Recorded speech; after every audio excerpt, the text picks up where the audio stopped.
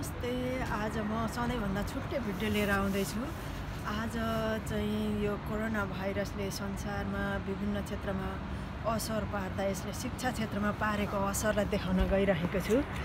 आज शिक्षा क्षेत्रको कुरा गर्दाखेरि म लन्डन इस्ट लन्डनमा पर्ने क्विन म्यारी कलेज माइल्यान्डमा छ। यसको बारेमा भन्न गइरहेको छु। आज यो सबै कलेज बन्द भएर विद्यार्थीहरू घर गइसकेका छन्। सुनसान छ कलेज। खुरुखुरु यसरी विद्यार्थीहरू आफ्ना ब्यागहरू बोकेर फर्किरहेका छन्। अनि फर्कने क्रममा आज म पनि यहाँ गिरिसलाई चाहिँ लिनको लागि भनेर आइरहेको छु। गिरिस पनि आजदेखि घर फर्किँदैछ। अब यो पढाइ अनिश्चितकालको लागि रोकिएको छ। यी होस्टलहरू सबै रित्तिँदै गइरहेका छन्। युनिभर्सिटी विद्यार्थीहरू यसरी घर फर्किन लागिरहेका छन्।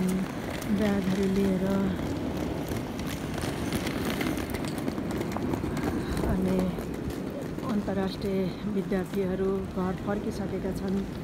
यहीँ रहने विद्यार्थीहरू पनि खुरुखुरु फर्कने क्रममा छन्। अब उनीहरूले कक्षा कोठामा पढाइ नभएर लाइभ अनलाइन अथवा रेकर्डेड अनलाइन पनि गर्न सक्नेछन् उनीहरूको अनिश्चितकालको लागि बन्द गरिएको छ।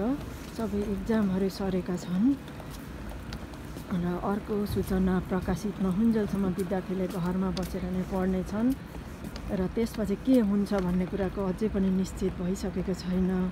यति भन्दै आज यो युनिभर्सिटीमा परेको असरलाई देखाउँदै म यो मेरो भिडियो यहीँ बन्द गर्दछु। थ्याङ्क यू नमस्कार।